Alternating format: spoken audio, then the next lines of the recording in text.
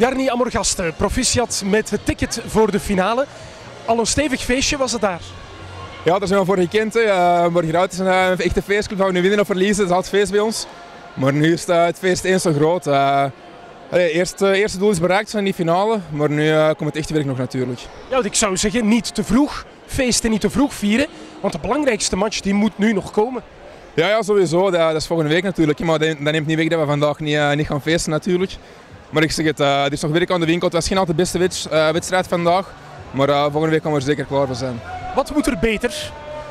Goh, ik denk gewoon uh, ons, ons afwerkingspercentage was helemaal niet goed. 16 goals op een hele match. Dat, ja, we kunnen normaal geen, geen wedstrijd meer winnen. Ja, vooruit scoort er nog minder. Dus ons afwerking en ja, gewoon de, de passing was ook vrij slecht vandaag, vond ik. Jullie hebben in de reguliere competitie Kwik verslagen. Gaat dat meespelen?